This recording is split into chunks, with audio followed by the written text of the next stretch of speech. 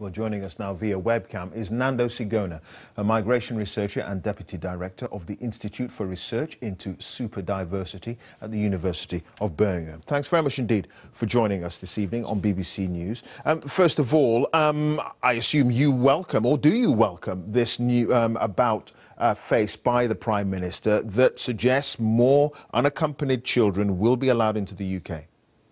I certainly welcome change of position by the government, uh, but there are a number of caveats that we must be.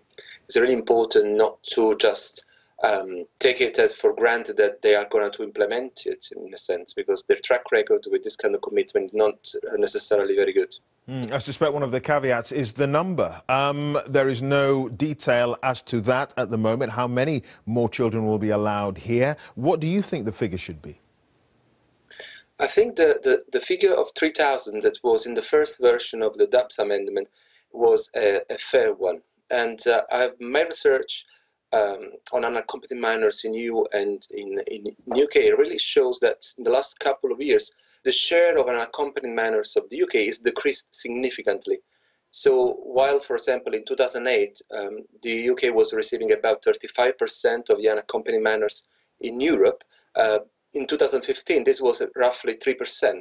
So the country can do more uh, uh, to contribute to um, uh, improve the situation of refugees within the European Union. Mm. But Kent is one of those counties that is having a lot of problems dealing with um, unaccompanied uh, children uh, and the cost uh, of that. Um, they have a backlog of some 800 children that they're still trying to find decent accommodation for. Um, the pressure on local services and on local councils is difficult at a time of austerity. Yeah, I think there has been um, a lot of discussion about what is the fair number. In um, in 2009, the UK was receiving about 4,000 uh, unaccompanied asylum-seeking children, uh, and on at that time, especially in the 2000s, 3,000 was a kind of the normal number for the UK. In the last couple of years, we had seen a significant decrease, uh, which goes in a completely different direction than uh, the rest of, of Europe.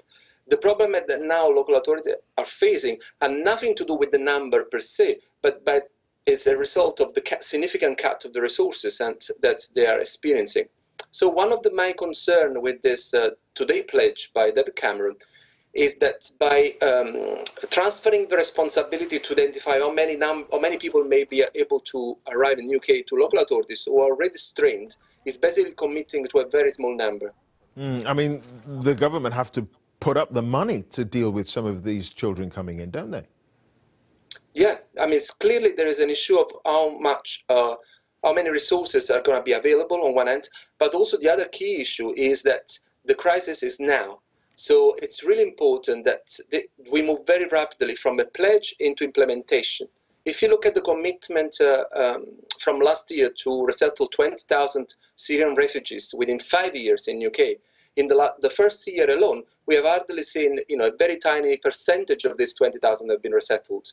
So we really need to move quickly and rapidly because the situation is, is, is danger. There's a position of danger right now in Europe for these young people. Sure, and it hasn't been made clear as yet where these children will be allowed to come from. Um, obviously from Europe, but their original uh, uh, um, home, whether it be Syria or Eritrea or wh wherever. Um, the suggestion is that, as far as you're concerned, and certainly the Refugee Council is concerned, this should be all uh, refugee children who are in Europe, um, not just those from, say, Syria the, the, definition of a refugee, according to the UN Convention, doesn't make any difference about nationality. So if there is a ground for uh, international protection, if there is fear of persecution, there is no difference if someone comes from Syria or from Afghanistan. Because the suggestion has been up until now that uh, the government will only look at taking in children from camps near the conflict zones. Yeah, but are, the conflict is not just in Syria. There is a conflict mm. all over the world. You know, even uh, in in other regions. So the point is, I guess, is that if you look at the data, um, the largest group of uh, unaccompanied minors in Europe has always been, for a number of years, the young Afghani uh, people. In the last couple of years, the number of Syrians has increased. And clearly, it's important that we look at the situation of the young Syrians. But let's not forget also the other groups that need uh, protection, they're vulnerable. Sure. And those people who would say, look, some of these children are already in France, they're already in Germany, they're not in hostile areas clearly. Um, why do they need to be brought over to the UK? What's your answer to them?